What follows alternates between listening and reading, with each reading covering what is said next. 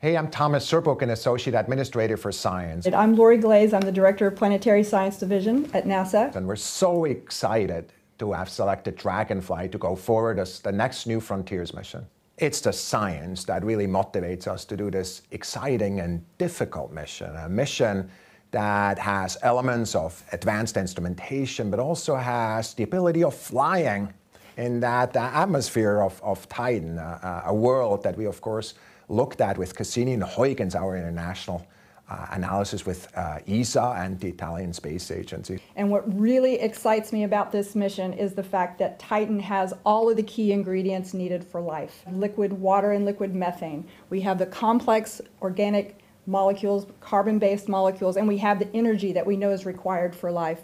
And so we have on Titan opportunity to observe the processes um, that were present on early Earth when life began to form and possibly even conditions that may be able to harbor life today.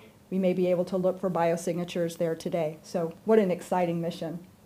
And of course, that mission is led by principal investigator Dr. Elizabeth Turtle at uh, Johns Hopkins University Applied Physics Lab, but also by a core team that really brought together a very diverse uh, group, uh, close to 40% female, but also an engineering team that brought just now, just a couple of years ago, brought together the Parker Solar Probe, a very hard technological, uh, challenging mission, uh, brought that together uh, below cost and on schedule. So we're really excited uh, to see what's going to happen here. Go Dragonfly.